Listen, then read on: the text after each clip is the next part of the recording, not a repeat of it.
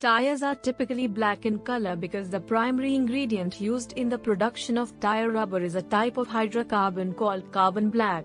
Carbon black is a fine powder that is created by burning fossil fuels such as oil or natural gas.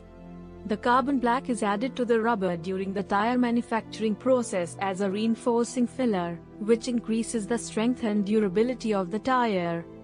The carbon black also helps to protect the tire from UV radiation, which can cause the rubber to degrade over time. Additionally, carbon black can also improve the abrasion resistance of the tire, which helps to increase its lifespan. The use of carbon black also improves the traction and grip of the tire on the road surface, which is important for safety. In summary, Tires are black because carbon black is added as a reinforcing filler to the rubber during the tire manufacturing process.